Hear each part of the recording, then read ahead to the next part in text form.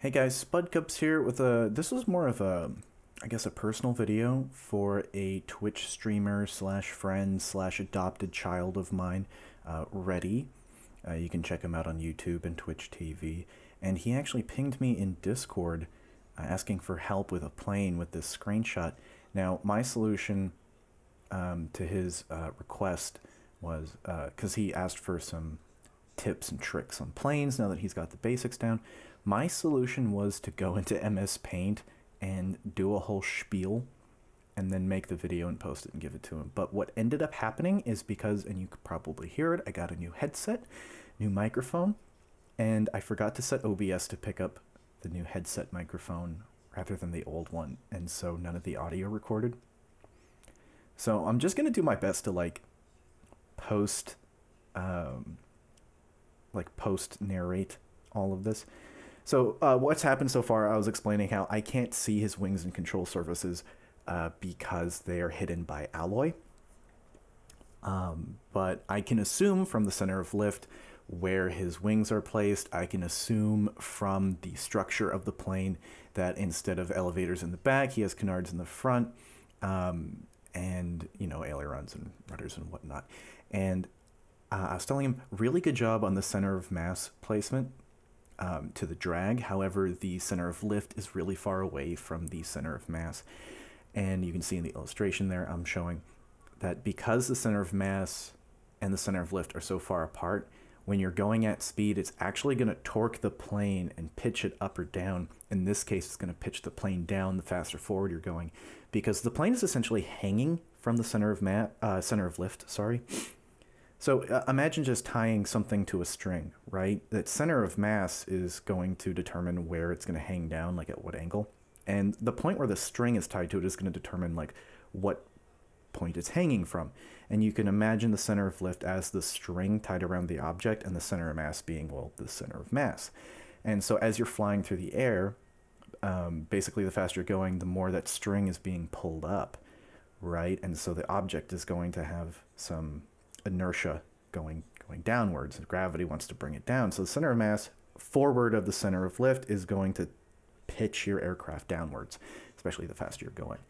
And it's not an issue really. I mean, you can compensate for that, but if it's too far apart, obviously it becomes an issue. Now, here's a, a really great thing. So, most people have a problem with this specifically. So, his center of drag is behind his center of mass, and that's super important because, like the fletching on an arrow, you have this, this the forward part of the arrow, this big arrowhead, right? And it causes a lot of drag here. And if you didn't have the fletching in the back, um, the arrow would actually try to flip it would be super unstable and try to flip around so that the area with more drag is behind the center of mass. Um, so the fletching on the arrow actually stabilizes it and helps it keep its uh, trajectory going straight. And that's perfect here. The center of drag is behind the center of mass, so the plane won't be super unstable. However, the farther back this center of drag is from the center of mass, you're you're going to have problems with maneuvering because it's going to be so stable that you can't go anywhere. It's like having a really, really big fletching on an arrow. The bigger it is, the more it wants to stay straight.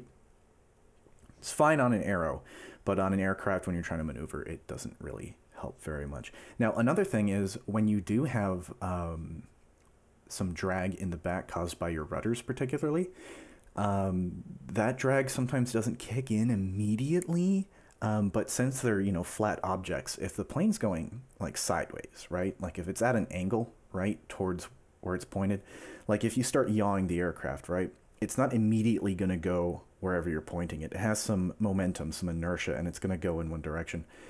But the plane's going to want to like go back to where like it's going to want to point towards the direction it's moving because the drag on the side of those rudders is going to, like the fletching on an arrow, push it so that it's straight with the airflow. Um, and so a lot of planes, even in real life, do have an oscillation where they will oscillate and yaw back and forth a couple degrees.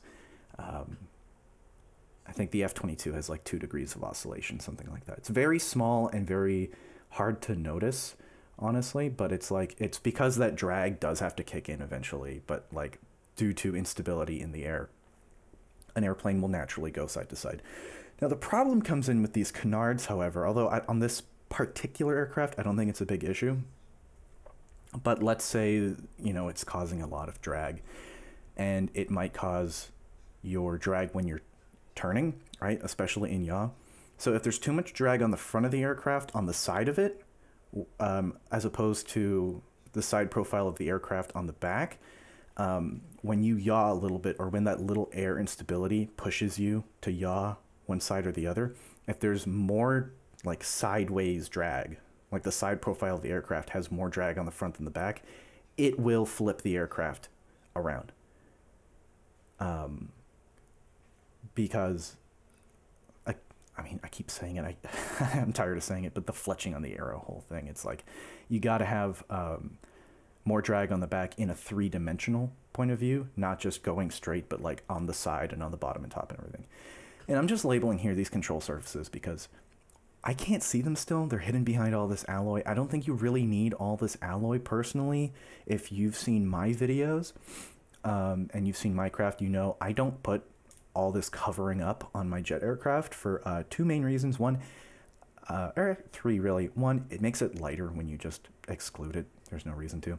Two, it's kind of a waste of space because you can just put more components there. And three, people are like, oh, it's going to get blown up in one shot. You need armor. It's going to get blown up in one shot anyway. If you have something powerful enough to like blow a wing off of this aircraft, it doesn't matter if it has alloy on it or not. Um, and uh, surprisingly, even in um, tests where I've upped the damage for like modded gameplay, um, a wing can get blown off of some of my planes, or like a whole section, a whole quarter of the plane. It'll still fly. Um,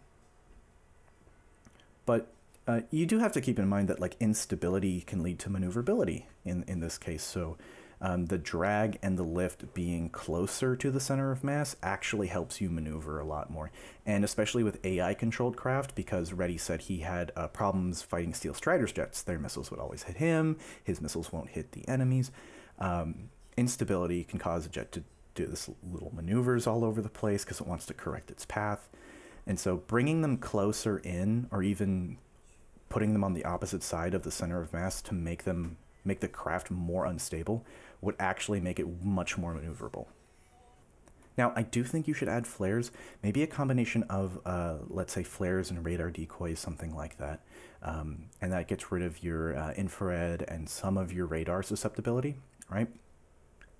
But you're really always going to have a large radar cross section with something like this, even if you use alloy or rubber, um, especially close into a target.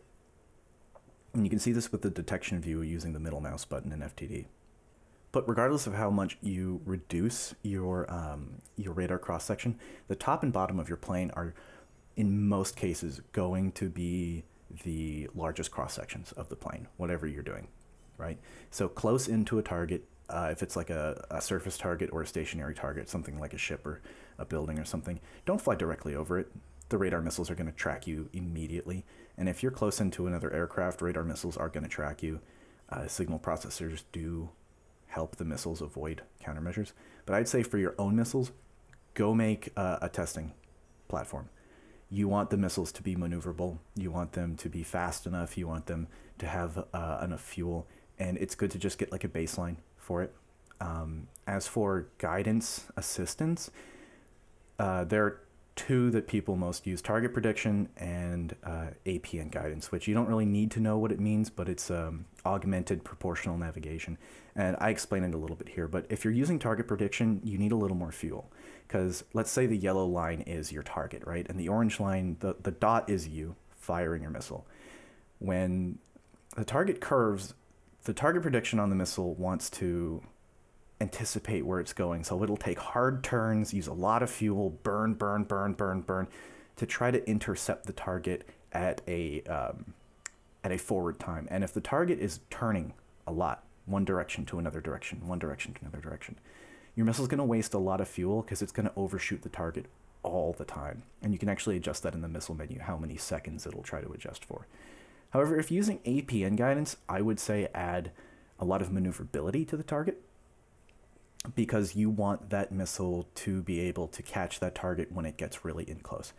And I would say, uh, as opposed to what a lot of people do in FTD, put the majority or all of your fins up at the front.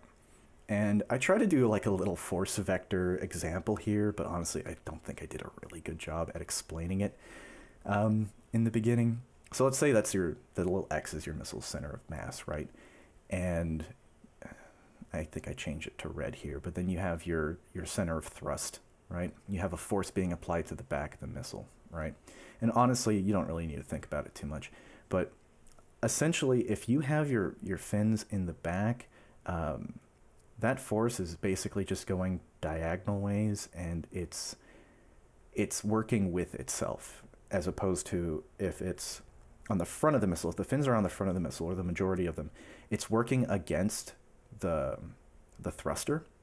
And so it actually has more maneuverability. And it doesn't matter how far along the missile you go. Like if you put a fin in the middle of the missile it's just like putting you know, control surfaces in the middle of the plane, um, it's not going to have very much uh, leverage, right? So, like on, on the plane, you want your ailerons on on the far ends of the wings. You want them out as much as possible. You want your elevators either as far back or as far forward as you can. You want the rudders as far back or as far forward as you can. You want them away from the center of mass so that they have the most leverage, right? But on this missile, if you uh, think about it the same way you're thinking about uh, the plane. If you have two sets of fins, one at the front, one in the back, you're basically using two different points to spin it. But I would say the most important point is the front. You're, you're basically aiming where you're going rather than trying to push the thruster down. Um, it's like steering a car, I guess you could think of it like that. Like um, wherever you have the drive of the car, you're having the, the steering wheels in the front, and it's just a lot more effective. Um, whether it's for forward wheel drive or rear wheel drive or uh, four wheel drive, um, it's uh, it's just more effective to steer from the front, as in the case of a fast moving object like that. But um, as far as APN guidance goes, if you're using APN guidance, let's imagine this like the target prediction um, example. So the yellow line is the enemy craft. You are firing from the orange dot um, what APN guidance does is it's kind of like how cats hunt, uh, or like tigers and like big cats hunt. I think normal normal domesticated cats are like ambush predators, moreover. But the way cats usually hunt, if you've ever seen those videos of like the camera peeking around the corner and the cat doesn't move, but then the camera like goes back and then peeks around the corner again and the cat's a little closer. The way cats hunt, they try to stay at the same angle, right? That's how APN guidance works. It tries to stay at the same angle and the reason they do that um, is to, from the prey's perspective, it looks like the cat is not moving, that it's just somehow getting bigger. But in reality, it's getting closer and it is moving. So, relative to the target, um, the missile's position stays in line with the firing position or wherever it's going. And this is augmented proportional navigation or APN guidance. And this actually uh, is used in real missiles in real life because what it does is it actually gets you closer to the target more quickly in many, many cases rather than target prediction of overcorrecting one way and then overcorrecting another way. Uh, APN kind of keeps you tight and close. So you want more fins on an APN guided missile so that when it does actually get in close to the target, it can just go right into it. And I wish proximity fuses were still a thing on missiles because that would help so much. But um,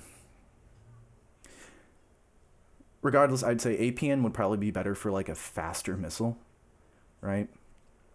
Where you just shoot it off real quick and you're hoping it'll just hit the target real, real fast. Whereas target prediction, I would say, would be better for firing long range, um, slower missiles, hitting ships, things like that. Not for hitting planes. Use APN for hitting planes. Um, but um, you know, as as far as um, wings go, control surface leverage. I think this plane did a great job with overall design. I like the way it is, although I am worried about those canards. Um, I think I illustrate it here actually. As far as leverage goes from the center of mass, see, like we can draw a line here. This is like the center of uh, force of the um, canards, right? And if you don't know what canards are, they're the elevators of an aircraft, but in the front. Um, as opposed to making the same thing, but in the rear of the craft. Um, and also, if, if they were in the rear of the craft, this would look a lot like an F 15. it just looks like an Ace Combat F 15 with canards. Like, this is pretty cool. But um, you, based on the center of mass, you do have a lot more leverage with the canards rather than rear elevators. And that's probably, I mean, you made the nose very long. If it were me, I'd just, you know, cut it off real quick there. But there has to be something weighing the back down. I see um, engine radiators on the back of the aircraft there, although those are definitely custom jets. So I, I don't know what they would be powering, honestly. I'm curious as to what that would be. But um, I do like what you've done with the detection. It's um, a single visual camera 360. That's what I use on most of my planes um, because they can see through glass. And um, you definitely have. No, wait, you have alloy plates. Okay, the alloy plates along the spine of the aircraft might be a problem because they actually block the uh, camera 360 from seeing behind it. But other than that, the glass is great because visual cameras can see through glass.